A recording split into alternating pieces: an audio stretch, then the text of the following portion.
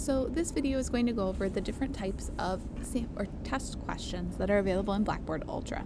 Some of these may be subject to change as more questions get added, but this is just a quick overview of what is available at the moment. So what I'm actually going to show is the sample test that was previous to this in the learning module, where you are able to actually go through and I'm going to show you some of the question types and name them as we go. The first question type on your list just by clicking that plus button once you create a test. The first option here is auto generate questions. This is by far one of my favorite tools. It is some of the most time saving um, and it is purely dependent on how much you are utilizing Blackboard and how much you're integrating within. So your options here are to provide a short description or my personal favorite is selecting the class items. So it'll actually pull up a menu for me to look at the current class that I have and within here, I'm able to go ahead and I'm able to click a section and then click multiple different topics to generate questions from. So I went ahead and I've just clicked on the previous learning module. These are the three sections that I have content in. I'm going to say select and it is going to auto generate questions based on content that was in those three, do three documents or those three sections. So from here, you can choose your question type. Inspire Me is just a range of different question types. You can choose how complex you want the questions to be answered, and then you can pick how many you would like to be generated. You'll hit the generate button. And again, this is using the AI built within Blackboard. So any of the AI tools that are within Blackboard, this is running that same prompt. As it's generating, it will spin for a second. One of the best parts about this is that you don't have to use all of the questions. You don't have to use any of the questions but by clicking on the little box to the side, I can actually select which questions make the most sense for me and add them into my assignment. Let's say I don't actually want an essay question, so I might skip it. And you'd be able to go through the correct answers are marked and see which ones best fit. You are able to edit these afterwards, so if something isn't quite right or you don't like the wording on it, after you click this add to assignment button, you will be able to go back and edit them to make them reflect exactly what you would like. I'm to go ahead and cancel this. Next on the list is adding a question pool. If you have already created assessments in this course previously, you'll be able to actually go back and find those questions to reuse them. Okay. So right here you can see that I have one a set of questions that were part of the last assignment that I could actually reuse and put in here without issue. Adding a calculated formula question or a calculated numeric question are both math based question types. Here's an example of one. Okay. As I go in, it allows me to put in the math prompt using the insert content button and the math button. I'm actually able to get my full formulaic keyboard up so I can add in any of the complex math equations that I might need. Okay. Then I'm able to put in a correct number with a set mathematical rule and I am able to allow a range of answers. So if I do want it to be a range that is accepted, I have that option there. Next down our list is an essay question. That is your standard text box. Fill in and write the prompt. Okay. Fill in the blank questions were actually used down here for question number six.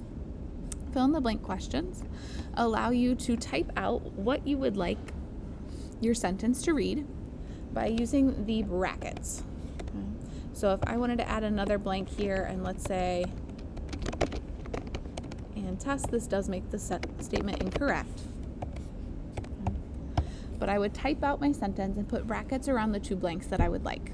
From here I hit next step and it auto generates blank one and blank two for me. It puts in what the correct answer was and then I can choose how precise I want this to be.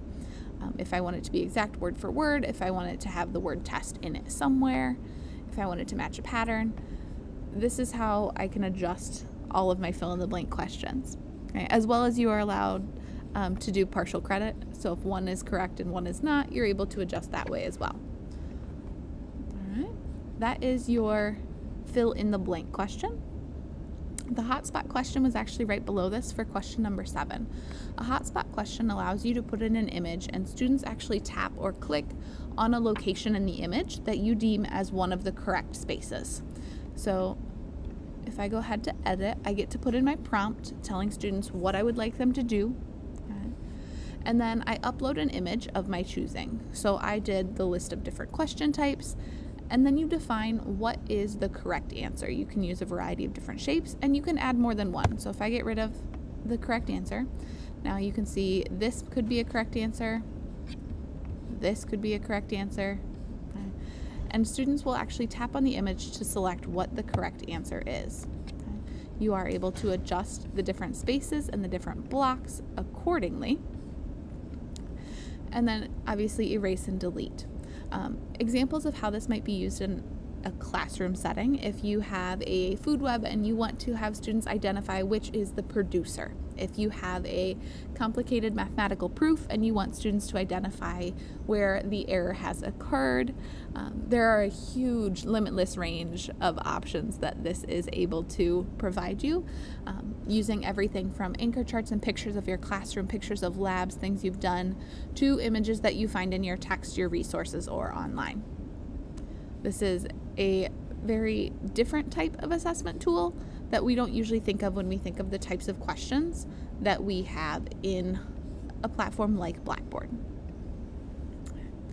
Moving down, you have a matching question type. Okay. That exists up here where you are matching the different prompts to the different answers. You're able to pop open the prompts and the answers type them out, and then you're also able to add distractors or things that don't quite match. If you don't want them, you don't have to use them. And you can also define what percentage of credit each answer would allow the student to get, um, including negative answers if you so choose. Down from there, you have your standard multiple choice and your standard true false questions. This is a multiple choice question right here. As we pop in, you can see you get the different options, you click which one is correct. Um, true and false look the same way, except for the fact they have true populated in one box and false in the other. And then you just toggle between the check boxes on the side to determine the correct answer. Reusing questions and adding question pool are very similar. When you generate a question that you want to use repeatedly over and over, you can add it to the pool. Otherwise, all the questions are saved in the reuse question section.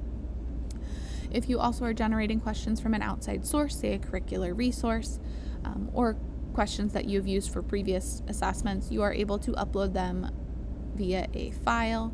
You're able to add in just informational text, local files like PDFs, um, or something from the cloud storage, which is something that is part of the Blackboard cloud storage specifically. All of these different tools are here within a single test or single quiz option and you'll see as you go through the learning resource how to navigate and utilize all of these different test settings on the side to ensure that it is actually assessing what you want students to be assessed on.